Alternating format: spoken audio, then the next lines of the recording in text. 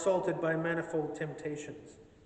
And as thou knowest their several infirmities, let each one find thee mighty to save. Through Jesus Christ, thy Son, our Lord, who liveth and reigneth with thee and the Holy Spirit, one God, now and forever. Amen.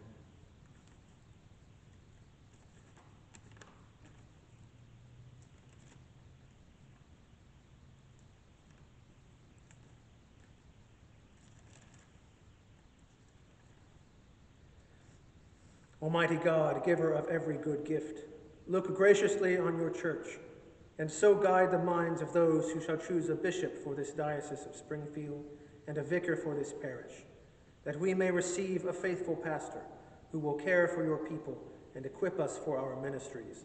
Through Jesus Christ our Lord. Amen.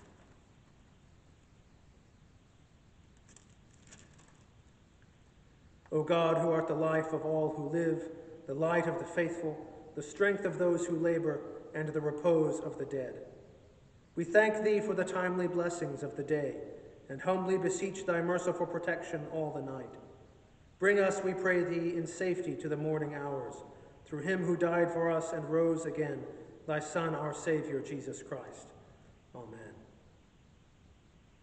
O God and Father of all, whom the whole heavens adore, let the whole earth also worship thee all nations obey thee, all tongues confess and bless thee, and men and women everywhere love thee and serve thee in peace through Jesus Christ our Lord.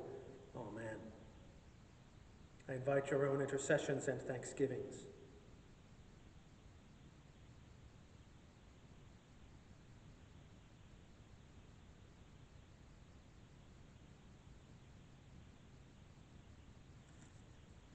Continuing on page 71 with the general thanksgiving. Almighty God, Father of all mercies, we, thine unworthy servants, do give thee most humble and hearty thanks for all thy goodness and loving kindness to us and to all men. We bless thee for our creation, preservation, and all the blessings of this life, but above all for thine inestimable love in the redemption of the world by our Lord Jesus Christ for the means of grace and for the hope of glory.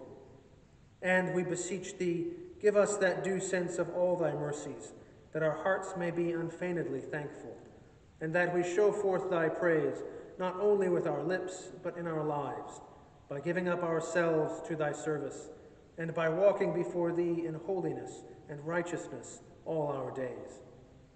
Through Jesus Christ our Lord, to whom with thee and the Holy Ghost be all honor and glory, world without end. Amen.